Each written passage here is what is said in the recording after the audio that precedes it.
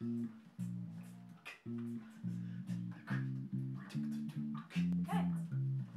That would be great. Yep.